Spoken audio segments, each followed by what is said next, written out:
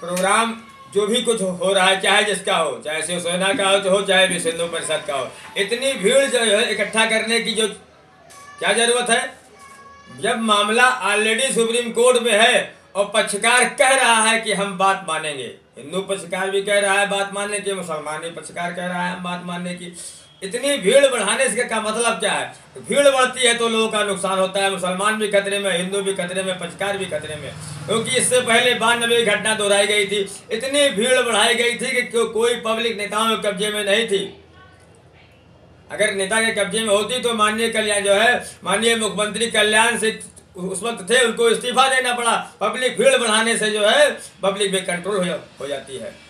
कौन किसका नुकसान कर जो है, हो जाए? मुसलमानों के मकान जलाए गए लूटे गए तूड़े गए फूके गए तो आज जो अयोध्या में अगर भीड़ बढ़ेगी तो हम लोग खतरे में आ जाते हैं। हर आदमी डरता है हर मुसलमान डरता है हिंदू डरता है। चाहे इतनी भीड़ भाड़ जो है बड़ी है? बाहर के लोग आए, आगे हैं, कौन किसको पहचानता है? जब बाहर से लोग आते हैं तो किसी को कोई पहचानता नहीं कौन सी घटना किसके ऊपर हो जाए इसलिए लोगों को खतरा महसूस हमें खुद खतरा महसूस होता है। हमने इसलिए अपनी सुरक्षा की मांग की है लेकिन अयोध्या में भीड़ बढ़ती है तो हमारी सुरक्षा बढ़ाई जानी चाहिए। अगर नहीं बढ़ा सुरक्षा बढ़ाई दी तो? अगर सुरक्षा नहीं बढ़ी तो हम पच्चीस से पहले अयोध्या छोड़ के चले जाएँगे जो है।